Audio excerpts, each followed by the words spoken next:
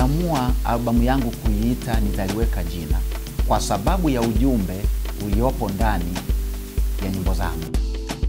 Tarehe 26 mwezi huu mwaka 2017 nimeamua kuiweka wakifu albamu yangu katika kanisa la Pentekoste liitwalo City Harvest ililoko pembezoni mwa hoteli ya Bajeti. Ukitaka kufika kanisa la City Harvest, panda magari yanayoelekea Tegeta, shuka katika kituo kinachoitwa Mbuyuni, alafu fuata magari yanayoelekea Ununio.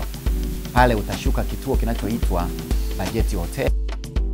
Watakuwepo waimbaji mbalimbali binafsi pamoja na kwaya. Tunategemea kumsifu Mungu pamoja, na hakika atakayefika kwenye siku hiyo atafurahi na nafsi yake